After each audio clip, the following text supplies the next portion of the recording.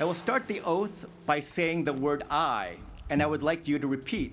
175 people from 45 different nations coming to Wrigley Field to become U.S. citizens.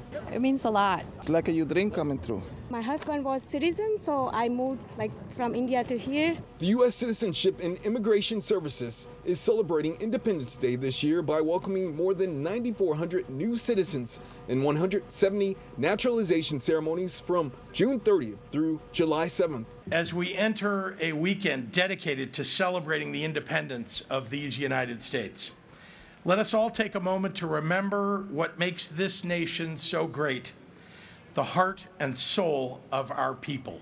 Wrigley Field has been standing for more than 100 years, and this is the first time that the ballpark has played host to a naturalization ceremony.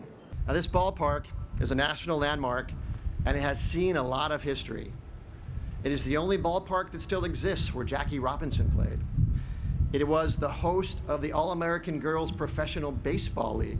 Having the ceremony at Wrigley made it even more meaningful for Jose Gutierrez. That's my place right there, on the bleachers. That's where I come all the games. Being here, getting this.